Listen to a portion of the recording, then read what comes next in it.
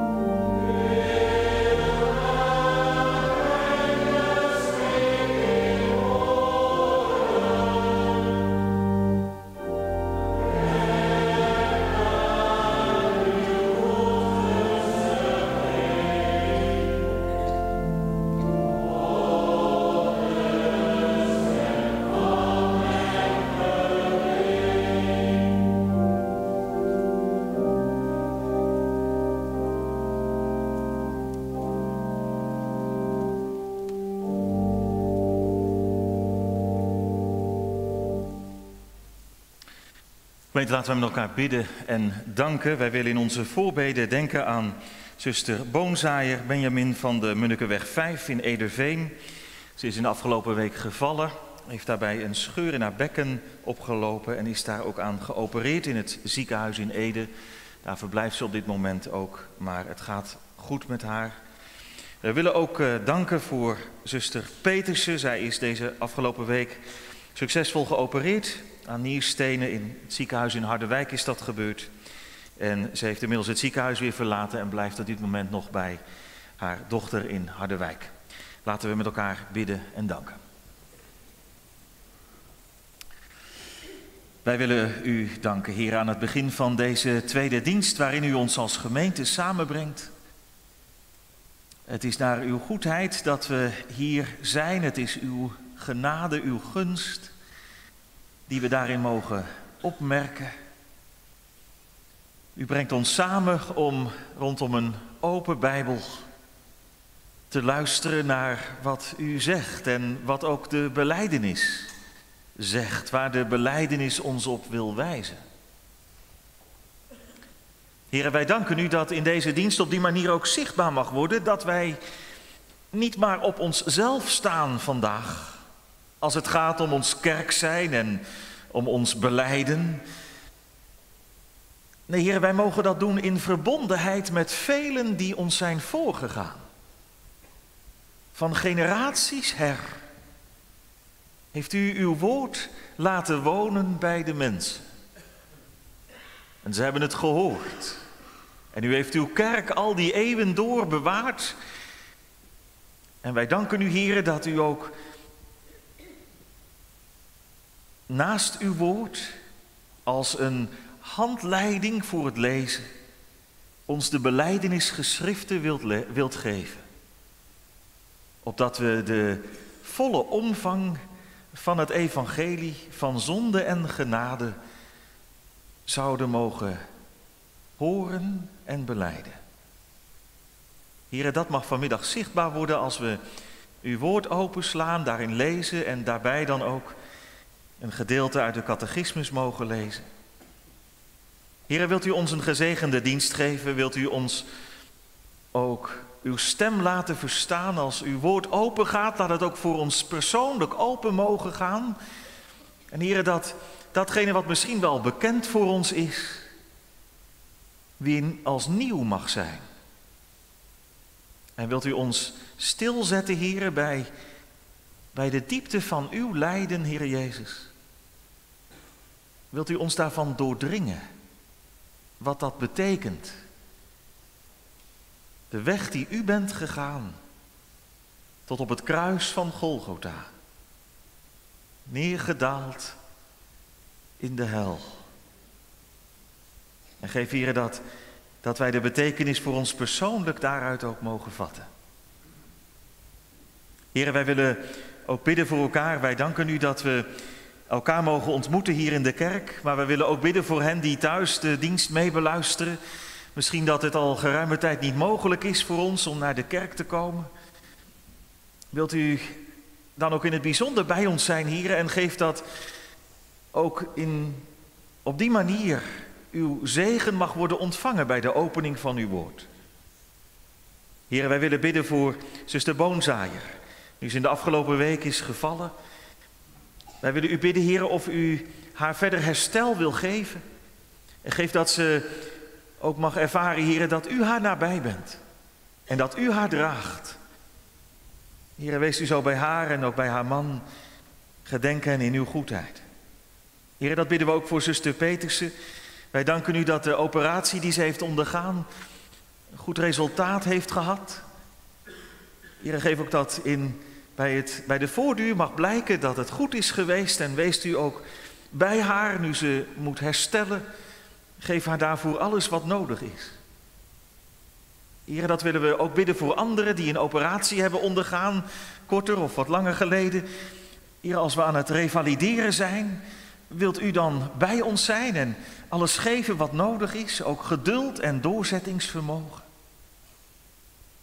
Heer, wij willen u ook bidden voor het zoontje van dominee van Vulpen, die zo ernstig ziek in het ziekenhuis ligt, zoals we hoorden. Heer, wilt u zich ook over hem ontfermen, over dat kleine kwetsbare leven. En geef dat hij nog levenstijd mag ontvangen van u. Maar hier, hoe uw weg ook is, wilt u erbij zijn. En wij danken u, heren, dat het gezin van Vulpen dat ook mag ervaren. Heren, wij bidden u voor anderen die we nu niet bij name hebben genoemd. Als we te maken hebben met ziekte en zorg, met psychische moeite en nood. Als we te zorgen hebben voor mensen in onze familie.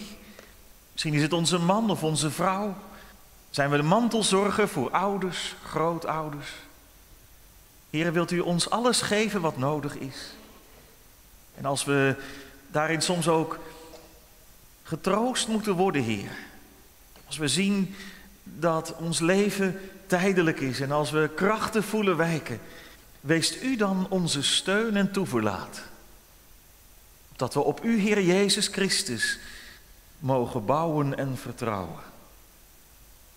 Heer, wij bidden u of u zo uw zegen wil geven bij de opening van uw woord. Wilt u woorden geven om te spreken en harten om te ontvangen wat u met woord en geest tot de gemeente zegt. En wilt u dan alles in, uit de weg ruimen wat van onze kant in de weg staat? Geef ons rust en concentratie op u. En hoor zo naar onze gebeden, Heer. In de naam van Jezus Christus, in de vergeving van al onze zonden. Amen.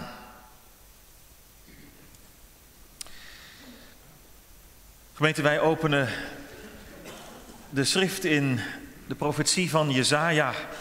En ik lees met u hoofdstuk 53, Jesaja 53, lezen wij met elkaar. En na de schriftlezing zingen we uit Psalm 22, daarvan het derde en het elfde vers. Psalm 22, vers 3 en 11, na de lezing uit Jesaja 53. Wie heeft onze prediking geloofd en aan wie is de arm van de Heere geopenbaard? Want hij is als een lood opgeschoten voor zijn aangezicht, als een wortel uit dorre aarde. Gestalte of glorie had hij niet. Als we hem aanzagen was er geen gedaante dat wij hem begeerd zouden hebben. Hij was veracht, de onwaardigste onder de mensen, een man van smarten, bekend met ziekte en als iemand voor wie men het, voor, voor, wie men het, voor wie men het gezicht verbergt. Hij was veracht en wij hebben hem niet geacht. Voorwaar, onze ziekte heeft hij op zich genomen. Ons leed heeft hij gedragen. Wij hielden hem echter voor een geplaagde, door God geslagen en verdrukt. Maar hij is om onze overtredingen verwond, om onze ongerechtigheden verbrijzeld. De straf die ons de vrede aanbrengt was op hem, en door zijn striemen is er voor ons genezing gekomen. Wij dwaalden allen als schapen, wij keerden ons ieder naar zijn eigen weg. Maar de Heere heeft de ongerechtigheid van ons allen op hem doen neerkomen. Toen betaling geëist werd, werd hij verdrukt. Maar hij deed zijn mond niet open. Als een lam werd hij ter slachting geleid, als een schaap dat stom is voor zijn scheerders, zo deed hij zijn mond niet open. Hij is uit de angst en uit het gericht weggenomen. En wie zal zijn leeftijd uitspreken? Want hij is afgesneden uit het land van de levenden. Om de overtreding van mijn volk is de plaag op hem geweest. men heeft zijn graf bij de goddelozen gesteld. En hij is bij de rijken in zijn dood geweest. Omdat hij geen onrecht gedaan heeft en geen bedrog in zijn mond geweest is. Maar het behaagde de Heere hem te verbrijzelen. Hij heeft hem ziek gemaakt. Als zijn ziel zich tot een schuldoffer gesteld zal hebben, zal hij nageslacht zien. Hij zal de dagen verlengen. Het welbehagen van de Heer zal door zijn hand voorspoedig zijn. Om de moeitevolle inspanning van zijn ziel zal hij het zien. Hij zal verzadigd worden. Door de kennis van hem zal de rechtvaardige, mijn knecht, velen rechtvaardig maken want hij zal hun ongerechtigheden dragen. Daarom zal ik hem veel toedelen en machtige zal hij verdelen als buit, omdat hij zijn ziel heeft uitgestort in de dood, onder de overtreders is geteld, omdat hij de zonde van velen gedragen heeft en voor de overtreders gebeden heeft. Tot zover.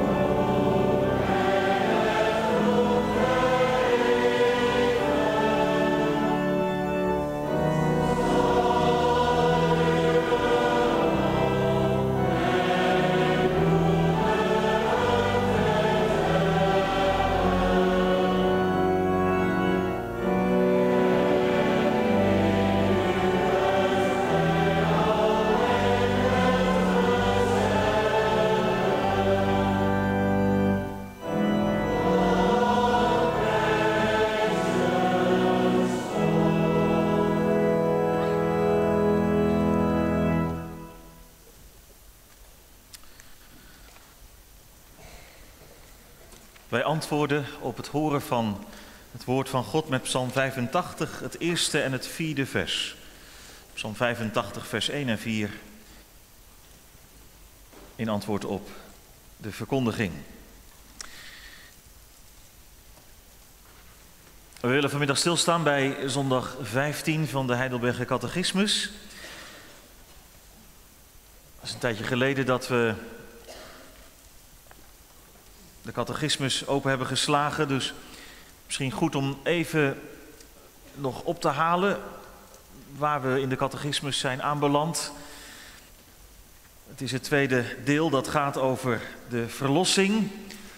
En daarin wordt, worden de twaalf artikelen van de apostolische geloofsbeleidenis, waarmee we zojuist ook ons geloof hebben beleden, die worden uitgelegd. En we zijn aangeland bij de woorden die geleden heeft onder Pontius Pilatus. Daar zal het in deze dienst over gaan. En dat is zondag 15 van de catechismus, vraag en antwoord 37, 38 en 39. Wat verstaat u onder het woord geleden? En is het antwoord dat hij tijdens heel zijn leven op aarde, maar in bijzonder aan het einde daarvan, Gods toren tegen de zonde van het gehele mensengeslacht aan lichaam en ziel gedragen heeft om door zijn lijden als door het enige zoenoffer ons lichaam en onze ziel van het eeuwige oordeel te verlossen en voor ons de genade van God, de gerechtigheid en het eeuwige leven te verwerven. En waarom heeft hij onder de rechter Pontius Pilatus geleden? Om ons, doordat hij onschuldig onder de wereldlijke rechter veroordeeld werd, te bevrijden van het strenge oordeel van God dat ons treffen zou. Houdt het meer in dat hij gekruisigd is dan wanneer hij op een andere wijze gestorven zou zijn? Ja, want daardoor ben ik zeker dat hij de vloek die op mij rustte op zich geladen heeft. Want de dood aan het kruis was door God vervloekt. Het thema voor de preek is geboren om te lijden. We letten op een drietal gedachten. De noodzaak voor Christus lijden. Ten tweede de wijze van dat lijden. En ten derde de zekerheid in dat lijden. Dus geboren om te lijden, de noodzaak van voor Christus lijden, de wijze van dat lijden en de zekerheid in dat lijden. Ja, gemeente, jongeren, ouderen, soms kun je versteld staan van iemands talent. Een paar jaar geleden werd het record gebroken van de jongste schaakgrootmeester ooit. Een Russische jongen, de naam Karjakin, was nog geen 13 jaar oud toen hij de titel grootmeester in de schaaksport ontving. Toen hij vijf was, had hij schaken geleerd en eigenlijk was het vanaf het begin af aan al meteen zo dat hij met gemak sterkere schakers wist te verslaan en allerlei toernooien wist te winnen. Hij leek ervoor in de wieg gelegd om te gaan schaken. U heeft misschien ook wel gehoord van dat Vlaamse jongetje wat een tijd geleden in het nieuws was. Laurent heet hij. Negen jaar, maar hij studeert nu al aan de universiteit. En hij blinkt met name uit in wiskunde en exacte vakken. Hij lijkt ervoor in de wieg gelegd om zich daarin verder te bekwamen.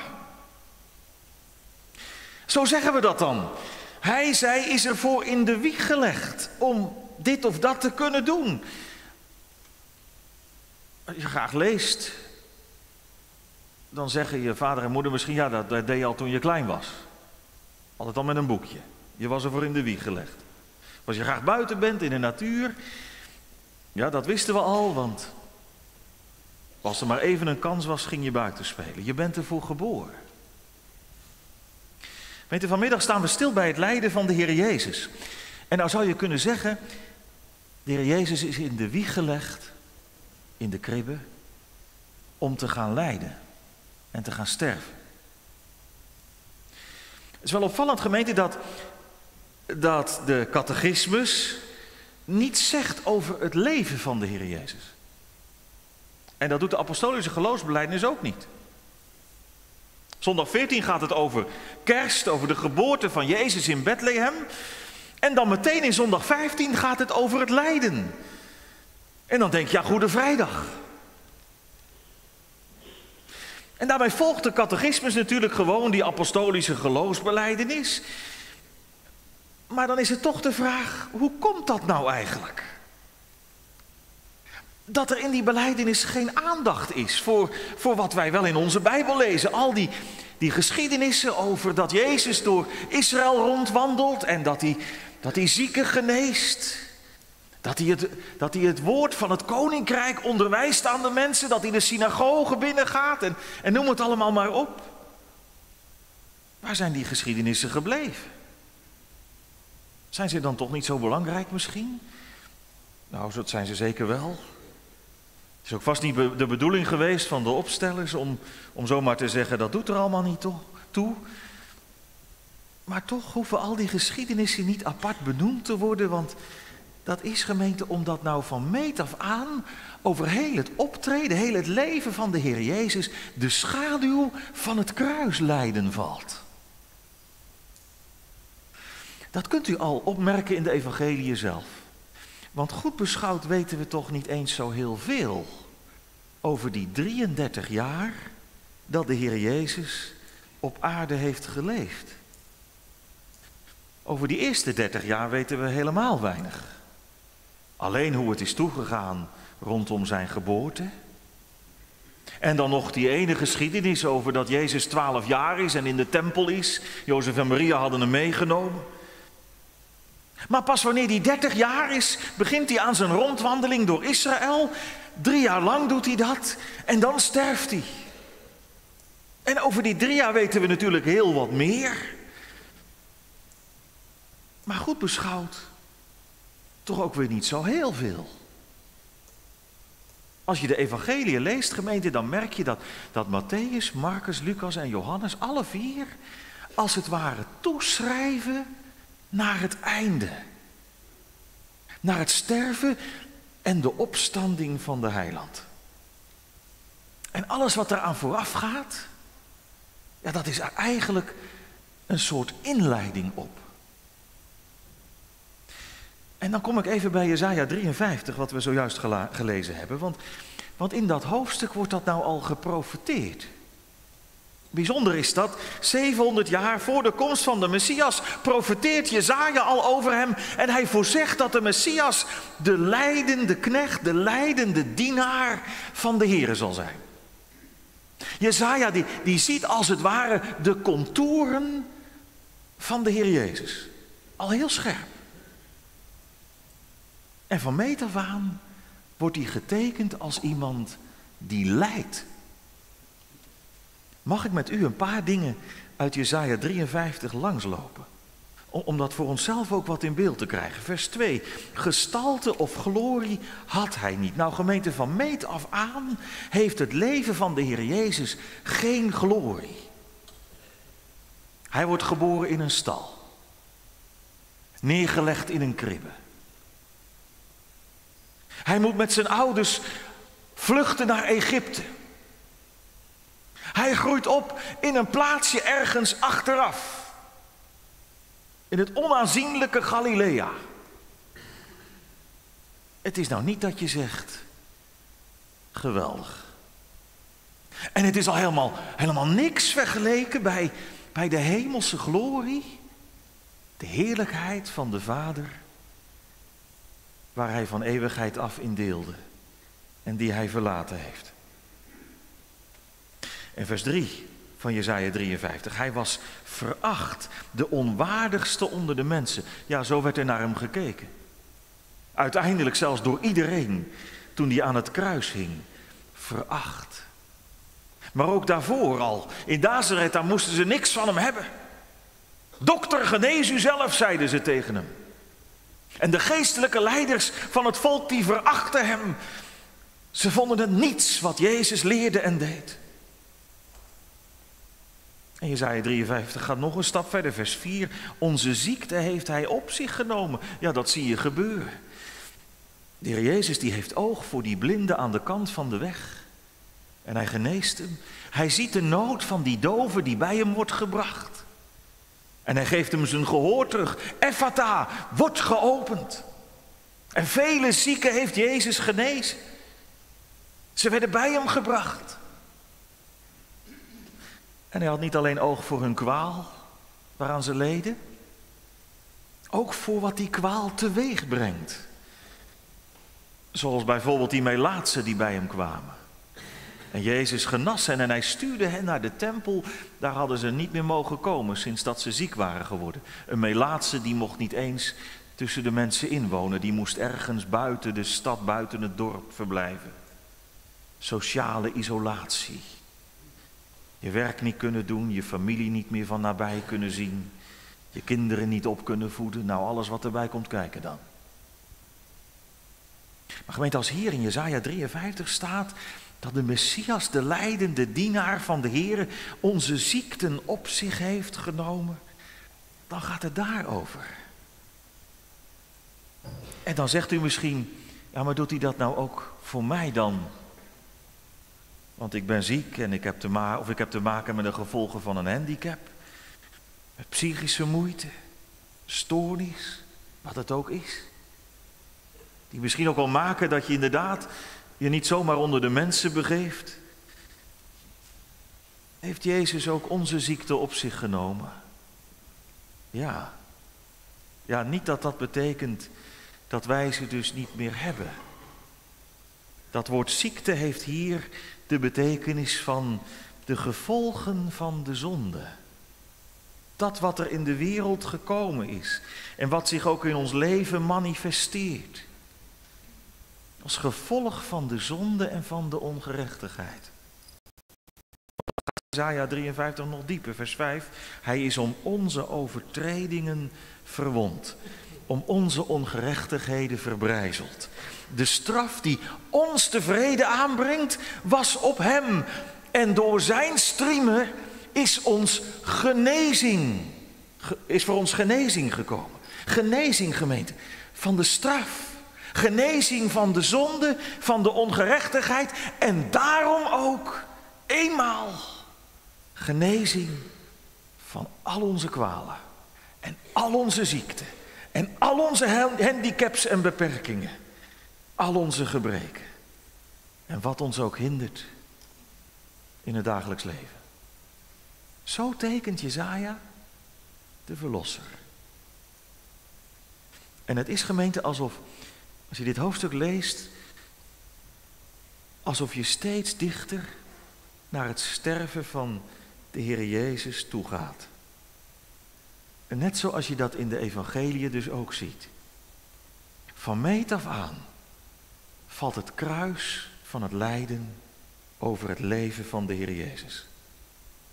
Want het hoort er allemaal bij waarvoor hij gekomen is.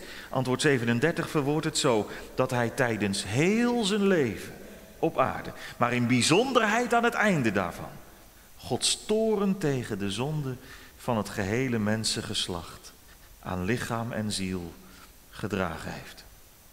De zonde van het gehele mensengeslacht. Dat betekent dat er, dat er een diepe kloof is geslagen tussen God en ons. Door onze eigen keuze. Door onze eigen schuld. We zijn diep in de ellende gestort. Het was ons ook aangezegd. Als je van die boom eet, waarvan ik heb geboden dat je er niet van eten mag, dan zult u de dood sterven, had de Heer gezegd. En zo is het ook geworden. Een diepe kloof tussen Hem en ons, tussen Zijn heerlijkheid en onze toestand, onze ellende diepe nood. En gemeente, op allerlei manieren zie je dat. Stel dat u de vraag van vraag 37 gesteld zou worden. Wat verstaat u eigenlijk onder lijden? Misschien dat je dan als eerste nou zou denken, nou dan, dan, dan kijk ik naar, naar de wereld waarin ik leef. Naar alles wat zich daar voordoet. Dan heb je het misschien over die bosbranden in Australië. Of de overstromingen die er nu zijn. Of het lijden van vluchtelingen in, in de kampen in, in Griekenland en Italië. Of het lijden van, van kinderen en mensen in, in gebieden waar honger is. En, en je ziet die beelden en dat is aangrijpend. Het lijden van, van hen die te lijden hebben onder epidemieën. Of die geliefden in oorlogen hebben verloren of door aanslagen. Dat is lijden toch? Dat is de wereld waarin wij leven. Of misschien ook persoonlijk dat u denkt aan het lijden van een familielid, van een van uw naasten, een van uw geliefden of van uzelf. En je lijdt eraan, aan die ziekte, aan die aandoening. Maar gemeente, de catechismus die leert ons nou vanmiddag om bij dat woordje lijden en dus ook bij al ons lijden, ook aan de Heer Jezus te denken. Want Hij werd geboren om te lijden. Hij werd geboren om Gods toren tegen de zonde te dragen, want dat is het. Dat al dat lijden er is, gemeente. Zoals Jezus het ook heeft doorleden. En we zagen net, dat heeft allerlei dimensies. Dat gaat heel diep. Maar het heeft als oorzaak Gods toren. En Gods toren, dat is, dat is niet maar een bepaalde emotie, dat die boos is, met eerbied gesproken. Nee, Gods torengemeente, dat is het noodzakelijk gevolg van onze zonde. Het is dat Hij de zonde niet verdragen kan, omdat hij alleen maar goed is. En daarom kan hij niet het kwaad verdragen. Gods torengemeente, dat is van Gods kant uit zijn eerbiediging van die kloof die er gekomen is tussen God en mens. De eerbiediging van die kloof. Omdat Hij goed is. En wij kwaad. Wij zondaren. Omdat wij buiten het paradijs leven. En de heerlijkheid van God missen. Gods toren, dat is een heilige en rechtvaardige reactie op onze zonde. En nou is Jezus gekomen om te lijden. Hij is in de wieg gelegd om die toren van God te dragen en die kloof te dichten. Als Hij niet gekomen was, dan waren we reddeloos verloren. Maar hij kwam om met lichaam en ziel het te ervaren. Ja, het te dragen wat het is om buiten de heerlijkheid van God te zijn. Om te leven in het land van de schaduw van de dood. En gemeente, is dat niet, niet vol van troost? Dat je bij al dat lijden nou mag denken ook aan dit lijden. Bij het lijden van jezelf, van je geliefde, van, van wat zich voor je oog voltrekt in de wereld. Wat je misschien wel diep raken kan ook. Wat je schokt. Weet, is het dan geen troost om te weten dat Jezus kwam als de Zoon van God en dat hij kwam om onze ziekte op zich te nemen en, en gemeente, als je iets, iets op je neemt, dan ga je eronder gebukt, hè? Dan drukt het op je. Hij is gekomen om onze ziekte op zich te nemen, onze zonde en alle gevolgen die het heeft. Dat hele pak, dat heeft hij gedragen. Alles wat erbij hoort. Heeft het op zijn schouders genomen. Ja, dat is het kruis dat op zijn schouders heeft gedrukt dat hij u en jou en mij ervan zou verlossen. Opdat er in deze wereld een woord van genade en hoop zou mogen klinken. En opdat er geloof en vertrouwen in je hart zou kunnen komen op goede gronden. Niet maar van ik hoop dat het nog een keer beter wordt. Maar op goede gronden. Dat als je ziek bent, dat je mag bidden om genezing. Of om kracht om het kruis te dragen. Als hij onze ziekte niet gedragen had, dan was er geen reden geweest om zoiets te bidden. Dan kon je het niet bidden. Maar nu kan het wel. En als je te maken hebt met psychische moeite, de heer Jezus heeft ook naar zijn ziel geleden, staat er. Hij kent de pijn en de uitzichtloosheid. Hij weet wat het is, ook om een handicap te hebben. Of om maatschappelijke nood te kennen, om arm te zijn. Hij had, hij had niets om zijn hoofd op neer te leggen. Hij weet wat het is om niet mee te tellen. Om aan de zijlijn te staan.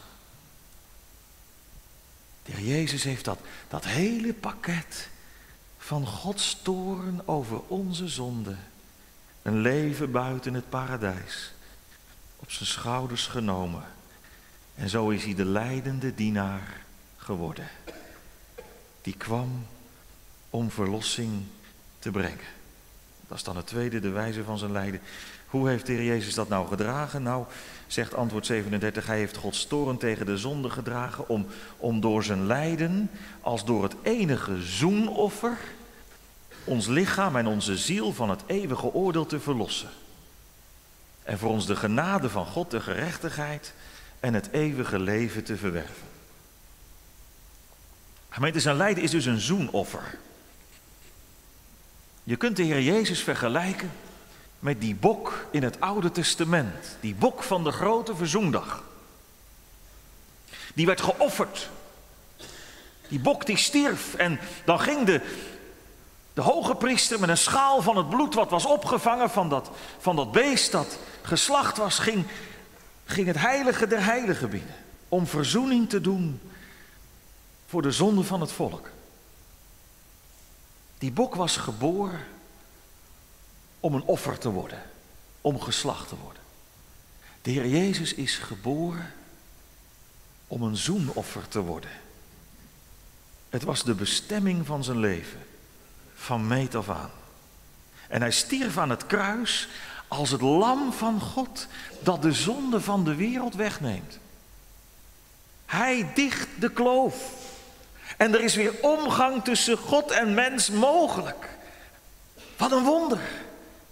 Wat een genade.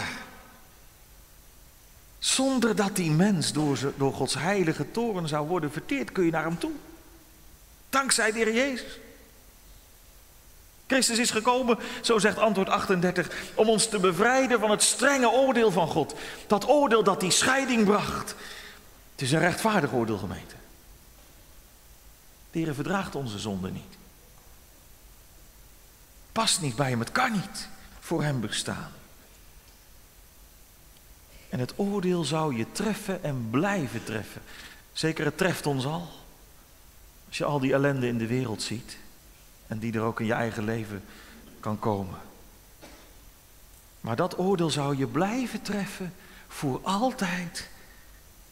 En over je leven zou de schaduw van de dood blijven vallen met alles wat erbij hoort. Aan diep donker lijden waren het niet dat hij Jezus gekomen is.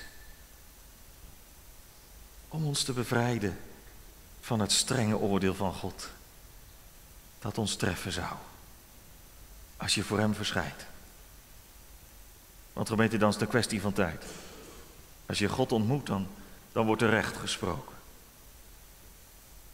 En dan zou het niet anders dan verdiend zijn dat zijn oordeel over u en mij zou luiden des doods schuldig. Ga weg van mij. Ik heb u niet gekend. Dat zou niet meer dan een, een bevestiging zijn van wat er, wat er vanuit jezelf al lang in zit. Dood in zonde en misdaden. En daarom de eeuwige dood in de buitenste duisternis van de hel. Maar Christus is gekomen. En hij wil u ervan verlossen. Weet je, dat is de prikkel geweest die de apostel Paulus ertoe heeft bewogen. Om die naam van Christus bekend te maken. Onder alle volkeren waar die kwam. Hij schrijft het in 2 Korinthe 5. Nu wij dus deze vrees voor de Heer kennen, namelijk dat je voor de rechterstoel van God moet verschijnen. Dat staat er net voor. Nu wij dus deze vrees voor de Heer kennen, bewegen wij de mensen tot geloof. Want er is een ontkomen aan. Geloof in Christus. Dat je hem leert kennen. Dat je erin toestemt. Ik heb hem nodig. Anders kan het niet goed komen. Dan wordt het nooit vrede met hem. Alleen door zijn zoenoffer is er vrede aangebracht. En, langs de weg van het geloof, het kennen van hem en het vertrouwen op hem, mag je delen in die vrede. Gemeente, doet u dat? Bent u zo aan de Heer Jezus verbonden? Heeft hij het voor u, voor jou ook vrede gemaakt? Bij je van binnen. Omdat je Hem ziet. Heb je dat heerlijke, bevrijdende van de Heer Jezus ontdekt? Namelijk dat Hij in uw, jouw plaats wilde sterven. Dat moet verkondigd worden. De naam van Christus als zoenoffer. Opdat we daar ons houvast zouden zoeken en ook vinden. Opdat je deze Jezus te voet zou vallen. En je vertrouwen zou stellen op zijn volbrachte werk. Doet u dat of vertrouwt u nog op wat van uzelf is? Zit je misschien nog wel vast in een web van allerlei pogingen waarmee je denkt, ja, het moet toch wel eerst een beetje aangenaam worden voor God. Het moet, moet toch wel een beetje van mijn kant opgeknapt worden. Laat het los. Laat het los. Het is een evangelie. Een evangelie dat spreekt over maar één weg en over maar één naam. Jezus Christus. En die gekruisigd. Een evangelie dat spreekt van verlossing en vrijspraak, omdat Hij uw straf gedragen heeft en de toren is afgewend. Een evangelie van, van niks uit mezelf, maar alles uit Hem. Hij die in onze plaats wilde staan. Want gemeente, dan legt de catechismus in vraag en antwoord 38 nog de vinger bij het feit dat Jezus onder Pontius Pilatus is geleden, heeft geleden. Er worden in de geloofsbelijdenis twee namen genoemd, die van, van mensen genoemd. Die van Maria en, en die van Pilatus. Nou, van Maria, dat snappen we wel. Die heeft een hele bijzondere plek gekregen als, als de moeder van de Heer Jezus in de heilsgeschiedenis. Maar waarom wordt nou ook Pilatus genoemd? Nou, dat heeft te maken met waar Pilatus voor staat. Hij is een wereldlijke rechter. Een rechter die weliswaar moet constateren dat Jezus volkomen rechtvaardig is. Pilatus heeft dat gezegd. We lezen dat in de evangelie. Als Jezus voor hem staat, dan doet hij onderzoek. En dan zegt hij, ik vind in deze mens geen schuld. Maar tegelijkertijd verklaart hij hem toch schuldig. Tegelijkertijd geeft hij wel zijn soldaten de opdracht om hem over te geven en weg te voeren naar Golgotha en te kruisigen. En dat heeft nou zo moeten zijn, opdat zou blijken, gemeente, dat, dat Jezus onschuldig was, maar wel als een schuldige, als was hij een schuldige geleden heeft. Opdat hij met, met u en met mij zou ruilen, zo heeft Luther het gezegd. Een vrolijke ruil. Naar aardsrecht was Jezus onschuldig.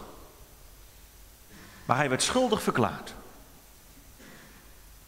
Naar hemelsrecht, gemeente, zijn wij schuldig. Maar om Christus wil word je onschuldig verklaard. U mag met hem ruilen. Hij jouw zondepak en jij zijn gerechtigheid en zijn vrede en zijn eeuwig leven. Hoe kun je ruilen met hem? U hoeft alleen maar naar hem toe te gaan. Nou hoeft u alleen maar uw handen te vouwen en je ogen te sluiten en te bidden. Je schuld beleiden en zeggen, Heer Jezus, hier ben ik. En wilt u het van me wegnemen, want ik ga eraan onderdoor. Ik kan voor u nooit bestaan. En voor u is alles openbaar. Wilt u het wegnemen? En gemeente, hij is geboren. Gekomen. In de wieg gelegd.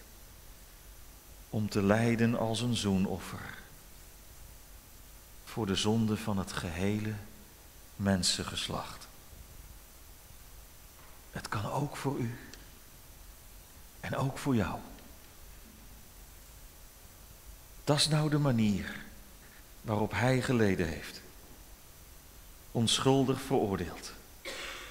Opdat hij je zou verlossen van de vloek. Want dat is tenslotte nog het derde. De zekerheid in Christus lijden. Nog één ding vanmiddag. Waar de catechismus ook de vinger bij legt. Waarom is Jezus nu aan het kruis gestorven? Waarom is hij niet bijvoorbeeld onthoofd? Of gestenigd of verbrand? Nou, dat heeft speciale betekenis. Doordat Jezus gekruisigd is, daardoor ben ik zeker dat hij de vloek die op mij rustte op zich geladen heeft, want de dood aan het kruis was door God vervloekt. Daar heeft u het weer, hij in onze plaats. Hij doet het voor ons. Maar, maar, hier wordt ook gezegd, gemeente, waarom die op deze manier is gestorven. Bij het kruis gaat het om de vloek. De kruisdood was een vervloekte dood. Zo staat het ook in Deuteronomium 21. Een gehangene is door God vervloekt.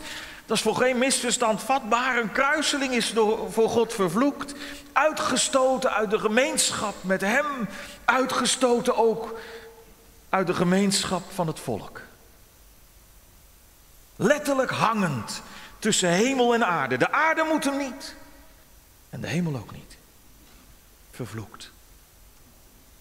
Weet je, dat kruis, die vervloeking, die, die ligt op ons. Maar nu heeft Hij het op zich geladen. Dat kruis dat op onze schouders lag, dat, dat heeft Hij van ons als het ware afgenomen en gezegd, ik neem het over. U kunt het niet dragen, maar ik wel. En gemeente, Hij heeft het gedragen. En Hij is eraan gestorven. Hij ging de dood in opdat wij de weg naar het leven zouden ontvangen. Ons zouden bekeren, ons om zouden draaien en tot Hem zouden gaan. En, en dat mag nou zekerheid geven. Zekerheid. Misschien vraagt u, vraag jij zich wel af. Ja, met geloven weet je het nooit zeker toch? Houdt geloof nou niet per definitie onzekerheid in? Je gelooft het dus. Ja, dan weet je het niet zeker. Misschien is u ooit wel een boodschap verkondigd die er ook voor waarschuwde om niet al te zeker te worden. Je kunt toch niet zomaar zeker zijn van je zaak ten aanzien van het eeuwige leven. Dat is toch Gods zaak immers. Zijn zaak van verkiezing en verwerping. Gemeente de Catechismus spreekt hier anders over deze dingen. Het heeft betekenis dat Jezus aan een kruis is gestorven, want daardoor mag je nou zeker weten dat Hij de vloek die op mij rustte, persoonlijk, op mij rustte, op zich geladen heeft. Dat is de taal van het geloof. Zeker weten, volkomen zekerheid. Gemeente Jezus heeft tussen, tussen hemel en aarde gehangen. En Kolbrugge, die zei er ooit over, zweeft dan, dan als gelovige niet langer tussen hemel en aarde. Want daar heeft de heiland gehangen. Zweef niet tussen hemel en aarde, van dat je weet dat je op aarde niet thuis kan zijn, dat je dat ontdekt hebt. Maar dat de hemel ook je thuis niet is geworden. Door al je twijfel en aarzelingen. Zweven niet langer zei Kolbrugge, want daar heeft onze Heer gehangen. Begeef u niet in zijn plaats, want hij hing daar niet te vergeefs. Hij heeft de muil van de afgrond gesloten en de poort van de hemel geopend. Dan mag je dus zeker zijn van je zaak omdat het niet meer je eigen zaak is. Omdat het niet meer gaat om jouw geloof. En of jij het wel hebt, dit of dat, wel voldoende hebt. Dan is het zijn zaak geworden. Om je te redden en te verlossen En de vloek stuk te breken, de gevangenis van je zonde en dood, waarin we gevangen zaten, open te breken. En vrijheid te schenken. Maar zolang je blijft zien op jezelf, dan zult u niets anders dan tekort en zonde ontdekken. Maar wie ziet op deze Jezus, op deze gekruisigde, deze leidende dienaar van de Heer, die gehangen heeft tussen hemel en aarde, die mag de weg vinden, de weg gaan, terug naar God de Vader, terug naar huis, vanuit het duister naar zijn heerlijk licht. Zie dan op Christus. En dan mag je het met zekerheid zingen. Zingt u het mee? Zingt u het naar binnen toe? Gij hebt uw land, o Heer, die gunst betoont. Dat Jacob zaad, Jacob, hè, dat is de zondaar, de bedrieger. Dat Jacob zaad opnieuw in vrijheid woont. De schuld van uw volk hebt ge uit uw boek gedaan. Ook ziet gij geen van hunne zonde aan. Want om Jezus wil, u vindt in gunst, in genade. En niet in wraak uw lust. De hitte van uw gramschap is geblust. O heilrijk God, weer verder ons verdriet. Keer af uw wraak en doe uw toren teniet. Amen.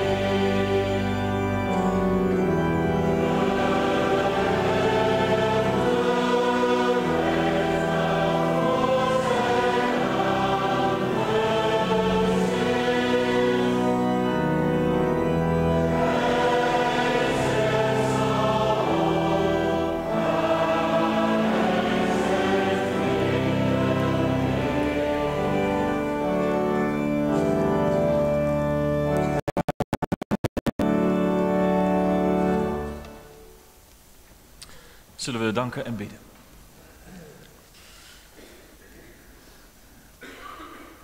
Heren, zo danken wij u dat u, Heer Jezus Christus, gekomen bent.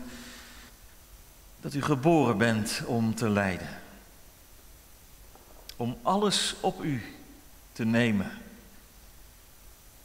De zonde en de ongerechtigheid. Die diepe kloof die er gekomen is tussen u en ons, Heer. En ook alles wat erbij hoort, wat eruit voortgekomen is in deze wereld, in, in die schepping van u die ooit zo volmaakt goed was. Onze ziekte, onze handicaps, onze gebreken, onze angst, onze pijn, onze rouw, ja alles. En u bent gekomen om te verlossen, Heer Jezus. En we hebben vanmiddag dat mogen horen. We hebben uw profeet mogen horen die u ooit in dienst nam, Jezaja. Die daar zo heerlijk van profeteerde. En die u al zag. Die al zag dat u zou lijden en sterven. Maar dat het zo uw wil is geweest. Opdat u ons zondaar zou brengen tot uw heerlijk licht. En Heere, wilt u dan het geloof in ons werk met uw heilige geest, opdat we op niets en niemand anders nog zouden vertrouwen dan op u alleen, Heere Jezus. Wilt u ons arm maken in onszelf, opdat we de rijkdom van u al meer zouden zien en mogen ontvangen. Heere, dan, dan mogen wij kleiner worden zodat u groter wordt. Heren, wilt u ons die les leren? Wilt u met dat werk in ons leven beginnen en wilt u dat ook voortzetten? Heren, wilt u ons afbrengen van al datgene wat, wat van onszelf is, maar wat geen grond kan zijn, geen basis kan zijn voor enige zekerheid. En dat we ons levenshuis zullen bouwen op de rots en de rots dat bent u. Wij danken u, heren, dat we dat heerlijke evangelie mochten opdiepen van, vanmiddag. En geef dat het met ons mee mag gaan als we de nieuwe week ingaan. Wilt u in de komende week ons alles geven wat nodig is? In de verantwoordelijkheden die we dragen. In datgene wat ons op het pad zal komen, waarvan we nu misschien nog geen weet hebben. Geef ook, heren, dat we goede getuigen zullen zijn van u. Dat we aan ons te merken mag zijn in onze werking, in ons gezin, in de gesprekken die we voeren, de contacten die we hebben, waar we ons ook maar begeven. Dat we vandaag in de kerk zijn geweest. En dat er een evangelie in onze oren geklonken heeft. Heer, geef dat we het meedragen. Dat we eruit mogen putten en mogen leven ook in de komende week. Heren, wij willen u bidden voor de wereld waarin wij leven. Wij hadden, we zien daarin, heren, het lijden. Al dat lijden wat, wat ook u, waar ook u weet van hebt. Heren, het loopt u niet uit de hand. Ook al lijkt dat misschien zo, af en toe. Maar heren, we willen u bidden voor alle die gebukt gaan onder, onder het lijden in deze wereld. We denken aan vluchtelingen in oorlogsgebieden, aan hen die getroffen werden door rouw vanwege aanslagen, vanwege het geweld dat er is in de streek waar ze leven. Heren, wij bidden u voor alle die te maken hebben met epidemieën, met uitbraken van besmettelijke ziekten. Met hen die te maken hebben met honger en tekort. Aan de meest basale levensbehoeften. Heren, wij willen u bidden of u zich over allen wil ontfermen. Ontferm u zich over onze schepping, heren. De schepping die van u is, maar die zo in, in het duister geraakt is door onze zonde. Heren, wilt u haar verlossen en weer tot heerlijkheid brengen. Ja, Heer Jezus, wij bidden. Wilt u spoedig terugkomen op de wolken? Dat alle oog u dan zal mogen zien. En wilt u dan alles nieuw maken? En het kwaad en de machten van het kwaad wegdoen van voor uw aangezicht. Heren, we willen u danken voor wat u ons gaf in deze dienst. Wilt u ons veilig geleiden over de weg zometeen? Vergeeft u ook wat niet naar uw wil is geweest. En zie ons aan in Jezus Christus, uit genade alleen. Amen.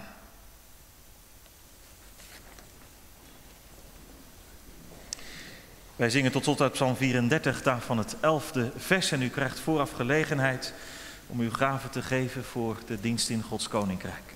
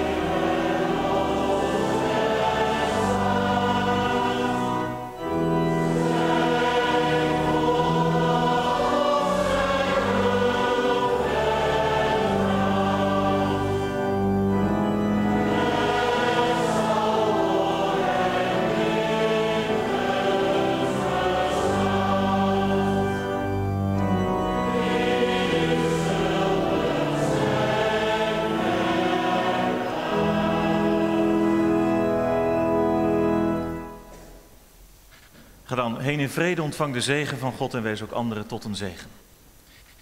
De Heere zegene en behoede u. De Heere doe zijn aangezicht over u lichten en zij u genadig. De Heere verheffen zijn aangezicht over u en geven u vrede. Amen.